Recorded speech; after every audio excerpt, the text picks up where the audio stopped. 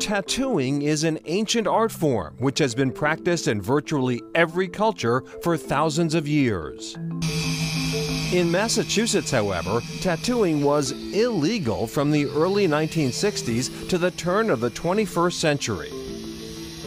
That changed in 2000 when Superior Court Judge Barbara Rouse declared a 1962 state tattooing ban unconstitutional, writing in her decision Tattooing is the sixth fastest growing retail industry in the country and is believed to be the most commonly purchased form of original artwork in the United States.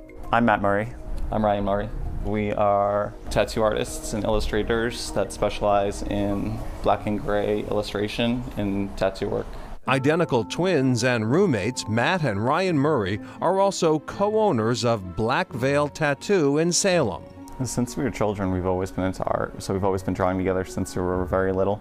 That love for art grew over time and eventually turned into a twin talent for tattooing. It wasn't really planned, but I think it worked out very well because our styles, our artistry before tattooing was very much in tune with one another.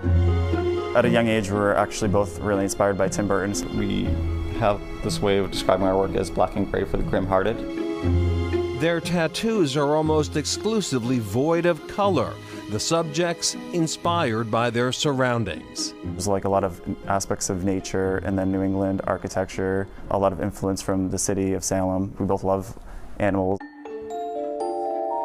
Like Matt and Ryan, Sam Copans shares a love for wildlife and the outdoors. I actually saw some of their printed art, which was really interesting, and then found out that they were tattoo artists. So I contacted them through email, told them about my idea. They liked the idea, and I ended up coming here. The sleeve that I'm working on started it probably maybe three years ago. We've been doing a piece by piece, and it's all nature inspired. So in the past, we did a wolf, we did a crow, and then today we're going to be adding a great horned owl. I really like the negative space that Ryan used to create the waterfall. I think that is just a brilliant piece of art.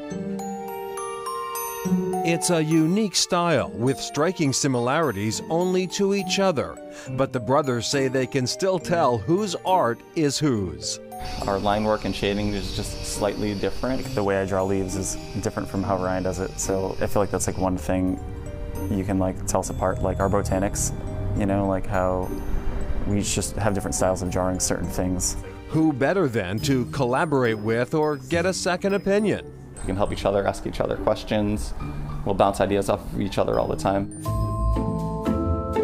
Ryan and Matt's artworks aren't limited to the human canvas. They also sell their illustrations out of the front half of the studio, the shop of Dreer and Wonder. This city is a tourist destination, so I think there are a lot of people who are coming here and then they just stumble upon the shop and they pop in and then they realize that we are tattoo artists. The similarities don't stop there. They also share a few tattoos.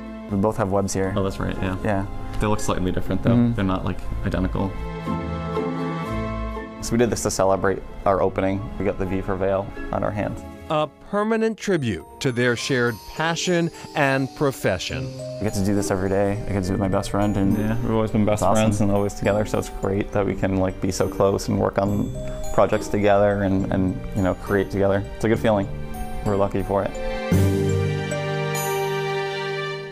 They are truly twinning. Mm -hmm, and, mm -hmm. and in the two decades since the ban was overturned, the tattoo industry has really taken off in Massachusetts. Right. There was a time people had to cross the border into New Hampshire or to Maine to get a tattoo if they wanted one. Now there are licensed establishments all over Massachusetts.